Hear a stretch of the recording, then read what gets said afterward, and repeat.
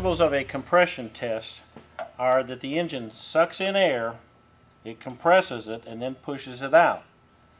So the first thing is it needs to be able to suck in air or have a clear method of doing that.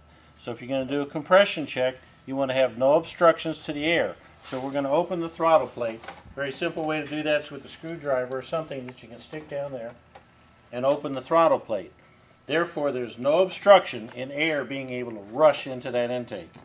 If you happen to have an older vehicle where it's easy access to the spark plugs, then you can just simply do a compression check with a gauge down there. But many times on a lot of the newer vehicles, it's a tough job just getting to the spark plugs, getting your instruments down there and so forth. So a shortcut that gives us a very good look at compression is called a relative compression check. That's done externally and with a lab scope. Basically what we're going to do is be looking at each cylinder and how it comparatively contributes to compression. Here's how to set it up. You're going to need a low amp current probe and we turn it on. Now I'm going to set mine at 80 amps. In many videos you've seen us use 20 amps for fuel pumps and other things.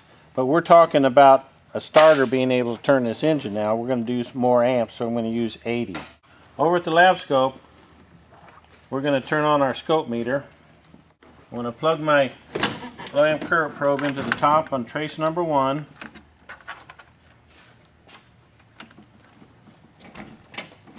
Now in a compression check, in addition to making sure that there's no obstruction in air, you also need to make sure that the car won't start. So you want to disable the ignition. You want it to crank, but not start. We'll go over to our lab scope and we're going to set this up I'm going to be on trace number one. We're going to set it up for 40 amps. Choose 40. That's the most mine will show. And you actually need to do coupling AC. You want to do that if you're going to be doing a relative compression check. Usually in automotive work, we focus on DC, so why are we choosing AC coupling now? If you remember back, DC is direct current, it's either on or off, 12 volts or 0 volts, where AC alternates above and below. So by choosing AC, we simply are blocking the DC signal from view. Now if we use the DC signal, our waveform would look like this. We'd only see that which was above 0 volts but by choosing AC it blocks the DC and now we can see above and below the zero line. Since pressure, which is what we're looking at now, could go above or below zero, we need to see above and below zero. Choosing AC coupling simply blocks DC from view. We're all set up, we hit OK. We take our low amp probe, you want to zero it. Now you want to clamp this around the wire, the big wire going to the starter. This is your negative wire. We want to go to the positive wire and I'm actually going to clamp it on down here going to the starter. And now we crank the engine.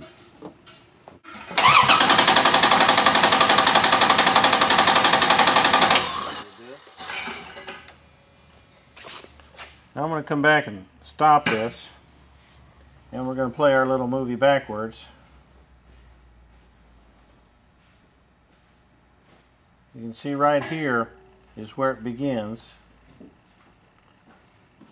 We actually start cranking the engine. This also it's always going to have a little bit of a distortion right at the very beginning. But then as we look at these next few patterns, the important thing what you're looking for here is somewhat of a comparison that all looks normal. In other words, each one of these is actually going up and down.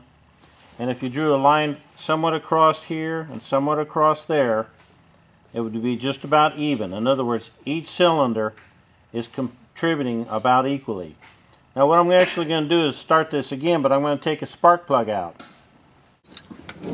So I'm going to take a spark plug out of the hole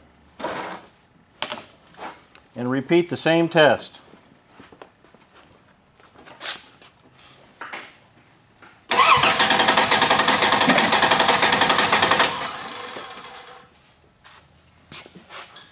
Now we're going to stop it and play it back. Now if you look right here by comparison, you see that we've got a dropout in compression. If you if you count this as cylinder number one, then there's two, three, four, five, six. It's a six-cylinder engine. One, two, three, four, five, six. Another dropout. So again, you have a dropout. Now that is actually not cylinder number one. That that is the cylinder that is not contributing to compression. One, two, three, four, five, six. One, two, three, four, five, six. So by doing this, you do not have to, doing a relative compression check, you do not have to get access to the spark plugs and take them out. You're doing it electronically with a lab scope, and you're seeing here that you have at least one cylinder not contributing to compression. It's just like in all compression checks, we put a gauge in each cylinder and you compare the compression. We're doing the same thing, but we're doing it electronically and relatively. Now keep in mind, a relative compression check is not an actual compression check. It is relative to amperage because what we're looking at here is amperage, not pressure. When you put a gauge down in the spark plug hole, you're going to read pressure. But in a relative compression check, if you look right here, this is where I took out the spark plug. Since there's no spark plug, there's very little resistance in there, so it did not need a lot of amperage.